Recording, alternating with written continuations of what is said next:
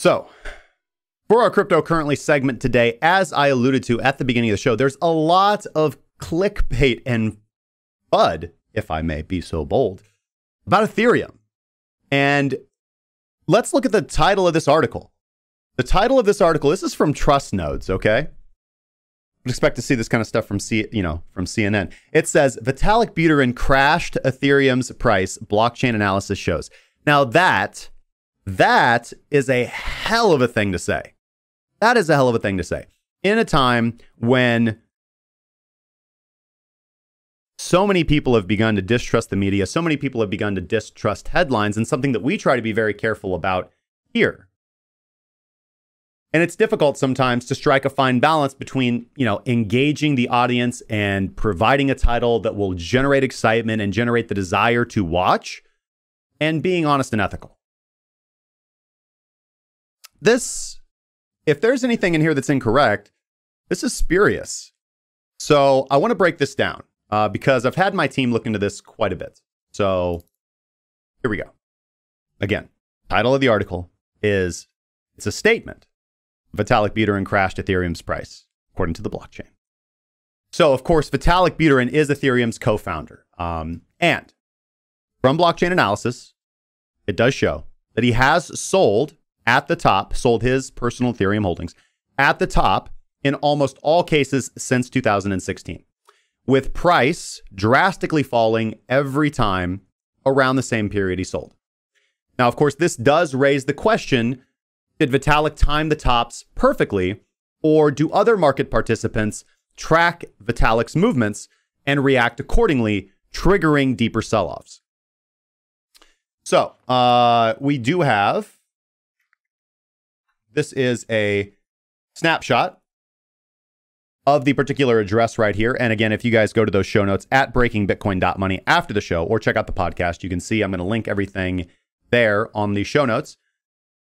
Uh, but the Ethereum address associated with Vitalik's personal holdings uh, begins uh, 0xAB, ends uh, AEC9B.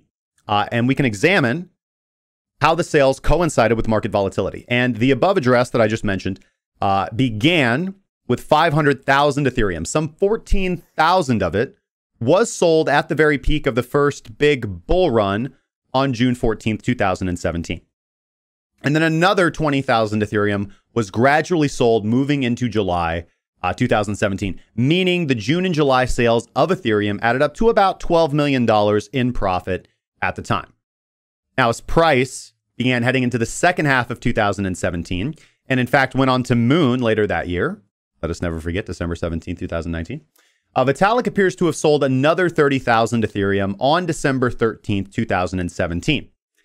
Uh, with the price of Ethereum now at that time around seven or excuse me around seven hundred dollars. Now that netted him a further twenty one million dollars in profit. And then around January fourteenth, two thousand eighteen, at all time highs, and just prior to the sell off that would go on to mark the 2000 the beginning of the 2019 bear market. Uh, Vitalik did move another 10,000 Ethereum at the time worth about $13 million. However, at this point, I do want to make very, very clear that unlike previous sales in which Vitalik transferred directly to Bitstamp, this time Vitalik seems to have been potentially aware of others closely monitoring the movements out of his Ethereum wallet and chose to obfuscate this transaction by routing the Ethereum through VB2, MakerDAI, and Oasis. Okay.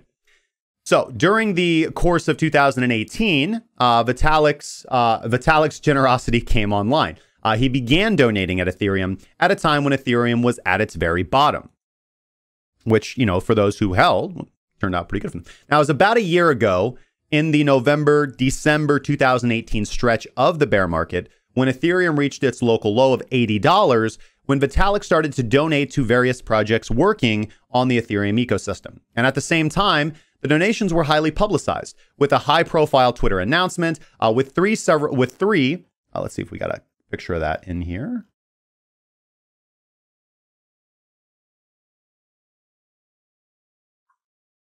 We'll just go up here. Uh, with, uh, excuse me, uh, with three separate announcements or three uh, individual startups receiving about $100,000 worth of Ethereum each at that time, which obviously is much more now.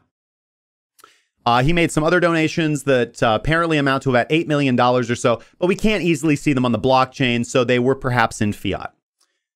So if we look, however, at the early days of Ethereum, we can see that Vitalik first sold 50,000 Ethereum on the 13th of March 2016. And at that time, price was $14, uh, with this marking his first payday worth about $700,000. Now, another 50,000 Ethereum was sold on the 2nd of August to 2016 when, when price was around $10, his second payday, uh, netting him about 500 grand. At the time of the DAO, fork, Vitalik's balance somehow increased by 60,000 Ethereum, which was quickly turned around on September 2nd, 2016, when he cashed out 80,000 Ethereum, worth about a million dollars at the time. So, really, his first, you know, in my opinion, first big seven figure payday. Uh, on the 4th of May 2017, when Ethereum was around $100, he sold another 20,000 Ethereum, adding another $2 million to his net worth, uh, while the price of Ethereum did see a mini crash immediately following that. So in total, uh, what we've just analyzed is about $50 million that Vitalik has earned over the years from the sale of Ethereum. Now, he still holds around 350,000 Ethereum in his main address. And assuming that we don't see a, a, an, an insane complete market capitulation, this of course does ensure that he will be a very wealthy man for a very long time to come. Now, while the sum itself is obviously interesting, if anything, I, I want to make this very, very clear.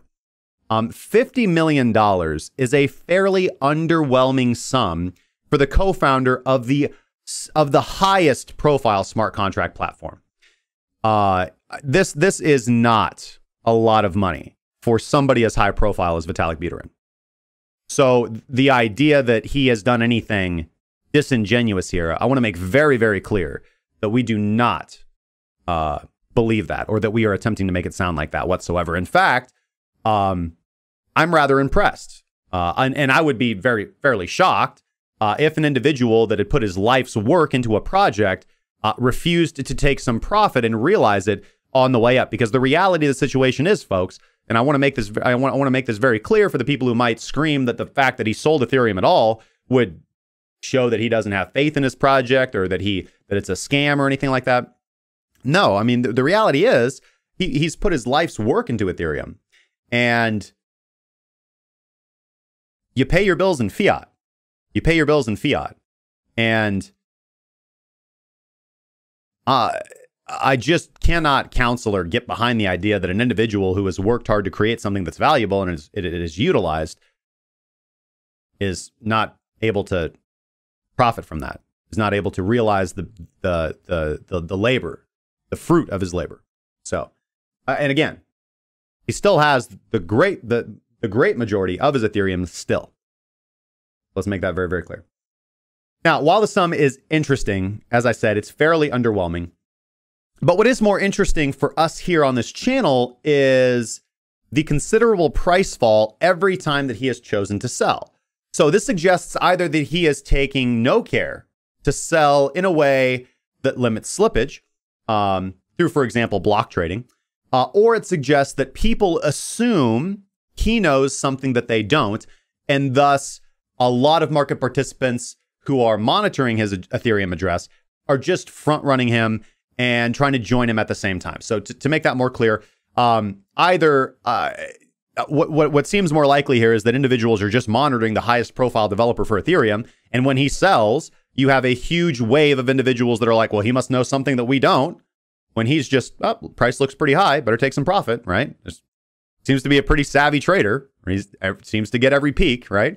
Every time there's a big spike, he's like, that's a good opportunity to take some profit. Beep. And then the but the rest of the market sees this and they're like, he must know something that we don't. There must be a huge dump coming in. He's selling. We better sell too which I feel is far more likely. Now, this seemingly cunning ability to know the top does raise some questions. Uh, although, of course, it could have been coincidence or it could have uh, been caused by him, or perhaps it would be his naivety in not considering how others might react to his blockchain movements. I've worked with many developers in my life, and they are not the most cognizant of the social implications of their actions. Yet, for somebody who ostensibly doesn't care much about price, it does look according to blockchain data, that he has shown a lot of interest in the price of Ethereum when it came time to sell. although a man of his intelligence could hardly be expected to foolishly sell at the bottom either. So, uh, overall, interesting. Uh, I think the title of this article is spurious. I think the contents of this article is largely spurious. Um, really, actually, kind of disappointed in the Trust Nodes with this piece of journalism here. Uh, great, great journalisming here from Trust Nodes. Uh, but I did want to point that out. I did want to look at the facts. Obviously, you guys can go. The link will be in the show notes. Uh, it's pretty easy to find. You guys can Google this. Uh, but I wanted to go over this, give my opinion on this. I don't think that it is. I don't think that it is scammy or wrong or weird or telling that an individual uh, is a savvy trader, or and I and I think it's very clearly explained from social implications why the market would seem to fall after he sells, because again, people would tend to know that he think or would tend to think that he knows something that he doesn't. So when a lot of individuals see that and see the desire to sell, the market moves down. So let me know your guys' thoughts on this. Let me know your guys' opinions. Leave them in the comment section down below. If you're watching a Breaking Bitcoin Bits, if this is recorded, if you're seeing this at a later date, or let me know your thoughts in the live chat and I will get to them in the question and answer section.